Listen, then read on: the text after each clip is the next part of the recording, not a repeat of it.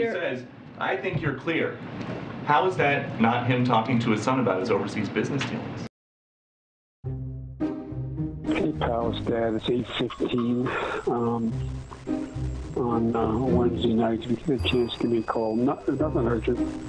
Just want to talk to you. I thought the article, at least the thing on online, is going to be printed tomorrow in the Times, was good.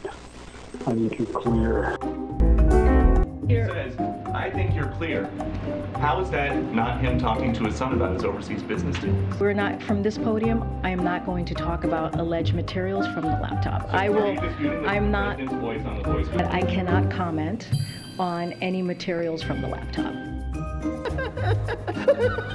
The voicemail that's been obtained by the Daily Mail and the Washington Examiner, it certainly seems like he was seeking to do exactly that, have a conversation about these business dealings. Is, is he leveling with the, the American public on this? join our I hear your question, but what I can tell you from here, standing at this podium, is that I cannot comment on any materials from the laptop. And I would refer you to the representatives of, uh, of Hunter Biden. bunch of hookers and cocaine. Oh, okay, that's not good. we were hoping for a different answer.